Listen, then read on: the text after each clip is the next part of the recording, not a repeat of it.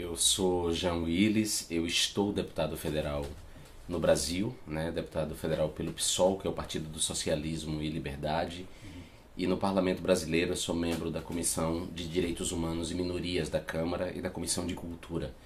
E eu fui contactado é, pela representação da União Europeia no Brasil e convidado a integrar esse programa de visita para conhecer.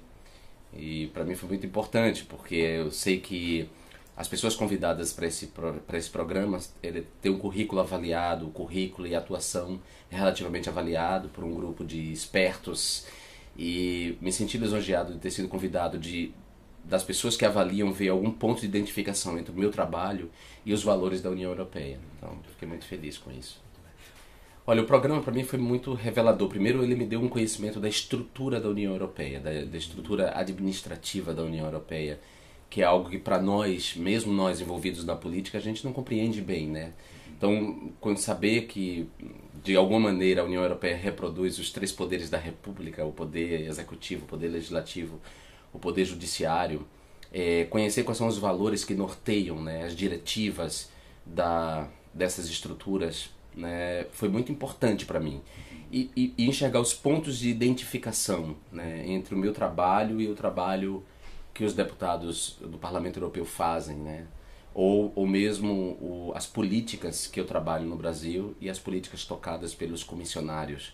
Então foi muito importante nesse sentido. Foi bom é, conhecer a história da Europa junto, né? Porque de alguma maneira a história da União Europeia uhum. é, é, é parte da história da Europa e nós somos Europa também, né? De alguma maneira nós estamos implicados na União Europeia, já que eu venho de um país colonizado principalmente por Portugal, mas também por Holanda, mas também pela França, pela Espanha e pela Inglaterra.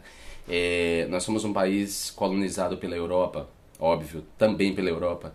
A, a, história da Europa nos diz respeito. Então, conhecer o Parlamento Europeu, como é que ele foi se formando, desculpa, conhecer a União Europeia e, e as, suas, as suas estruturas, como é que ela foi se formando ao longo da história, desde 51 até hoje, é, é também conhecer a história da, da, Europa e a história da gente.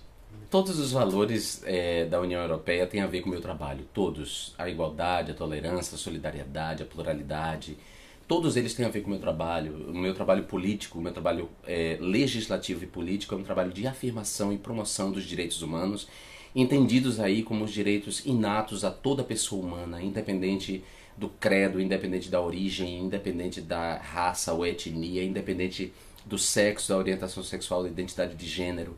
Quer dizer, toda pessoa é portadora de um conjunto de direitos que independe de constituição, que independe é, de cartas e de tratados. Toda pessoa humana é portadora de direitos. E o meu mandato, ele existe, né, meu trabalho político e legislativo, para promover esses direitos, principalmente em grupos que não são reconhecidos como humanos. E eu percebo que a União Europeia tem é, esses valores e também tem esse propósito. Claro que ela encontra dificuldades, porque congregar países tão diferentes, congregar uma diversidade étnico, cultural e política, é muito difícil equacionar essas diferenças em nome de um bem comum, de valores comuns. Mas mesmo assim, eu entendo que o objetivo é esse e eu me identifico bastante. O, o tema da solidariedade, de gerar empatia pela dor do outro e pelas condições do outro, foi o que eu mais me identifiquei. Até porque, estando na Europa, estando em Bruxelas, é, eu sou um estrangeiro e eu tenho características físicas muito marcantes que me colocam imediatamente no imaginário de muita gente é, num lugar de alguém que pode ser considerado perigoso. Então, é, isso, isso me faz compreender, gerar empatia muito, de maneira muito mais imediata em relação aos grupos discriminados. Então, eu agradeço muito essa visita e eu espero de alguma maneira, é, como membro do Parlamento brasileiro, poder retribuir de alguma forma, né? seja na promoção dos valores da União Europeia lá, que é algo que eu já faço espontaneamente, seja convidando para um almoço e para uma cerveja as pessoas que me receberam aqui.